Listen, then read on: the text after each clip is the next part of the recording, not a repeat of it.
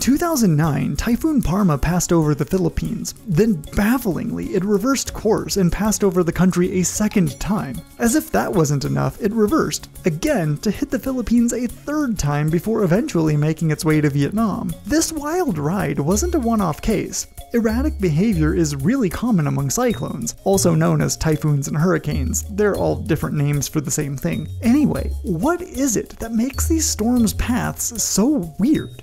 Hi, I'm Cameron, and this is Minute Earth. Once a cyclone forms, it gets blown westward by tropical winds before veering toward the pole. As the cyclone moves poleward, it will eventually reach the mid latitudes, where it will run into a band of wind that generally moves from west to east. As a result, this basic trajectory is pretty typical for a cyclone. But then there's this nonsense, or this, or even this, and that's because there are a bunch of factors that can alter a cyclone's path.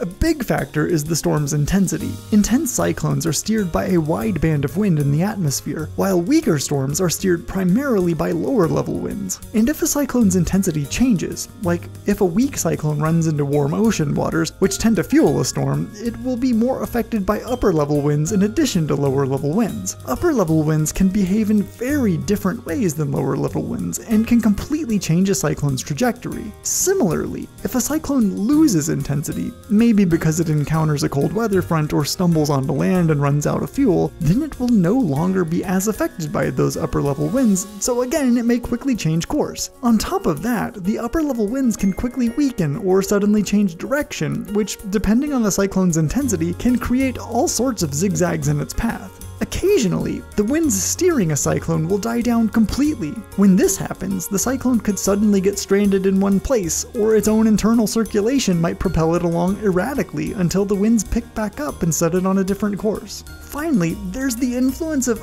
other storms. A cyclone is basically a vortex of swirling air, so when two cyclones get close enough to each other, like Hurricanes Hilary and Irwin did in 2017, they can pull each other into a deranged dance until one storm fizzles out, or until they merge into a superstorm. A cyclone can encounter any number of these course determining complexities. All of them likely played a role in Typhoon Parma's baffling behavior. Each time a new storm is born, its possibilities are almost endless. Sure, we know the winds that are likely to push a cyclone along and the factors that might sidetrack it, but we have almost no idea how all of that will come together over a storm's lifetime. The one thing we know for sure is that cyclones are predictably unpredictable. Minute Earth's Black Friday sale is on. If you need gifts for the science or nature lover in your life, head over to our store at dftba.com slash minuteearth. We've got huge discounts on all sorts of great STEM gifts, like this holographic bioluminescent sea creature sticker set, our book that answers all of your most pressing science questions, a Serengeti pin set, science posters, nerdy shirts, and our super popular fruit ripening magnet. All of these items will arrive at US addresses by Christmas so long as you order by December 8th. So head over now to dftba.com slash minuteearth.